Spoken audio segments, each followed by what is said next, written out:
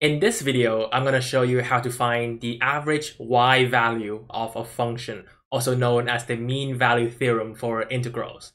So suppose we have a function looking like this, where this is a and this is b.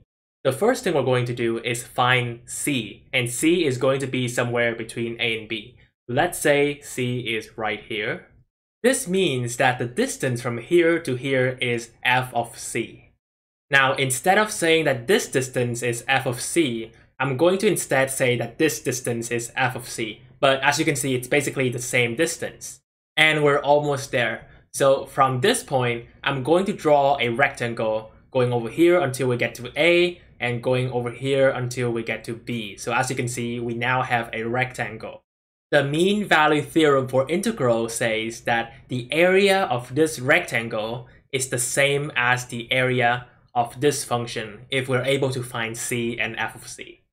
Therefore, the formula is the integral from a to b of f of x dx. That's basically the area of this function right here, and that is equal to the area of this rectangle, which is the height f of c times the base b minus a. To find the average value, all you have to do is solve for f of c. Let's go ahead and do a quick example. So find the average value of the function f of x is equal to x squared plus 1 on the interval at negative 1 to 2. The first thing I'm going to do is write out the formula. So we have the integral from a to b of f of x dx, and that is equal to f of c times b minus a. The second thing I'm going to do is find a and b. So the interval from here to here means that a is negative 1 and b is 2. So let's go ahead and fix that. And we do the same thing over here. So b is 2 and a is negative 1. We know that f of x is x squared plus 1, so we can replace it into our integral. And over here, 2 minus negative 1 is 3 we are going to solve one side of the equation. So this integral is equal to the antiderivative of x squared, which is just 1 over 3 x to the power of 3 plus x. And the boundary goes from 2 to negative 1. So plugging the values in, we get 1 over 3 times 2 to the power of 3 plus 2 minus the lower bound. So 1 over 3 times negative 1 to the power of 3 plus negative 1. And this is equal to 8 over 3 plus 6 over 3 minus this in here is going to be negative 1 over 3 minus 1.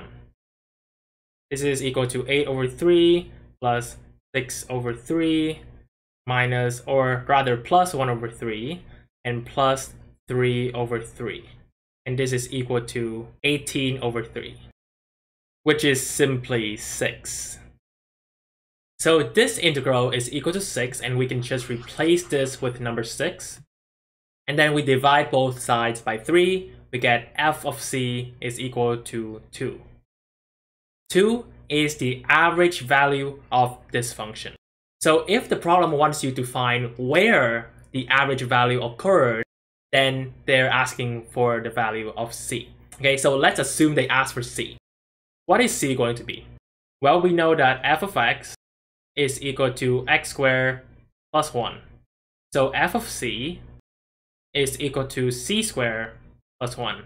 And since f of c is equal to 2, we know that c squared plus 1 is equal to 2. So c squared is equal to 1, and c is equal to minus 1 and 1. Now, minus 1 is between negative 1 and 2. And 1 is also between negative 1 and 2. So these are valid answers.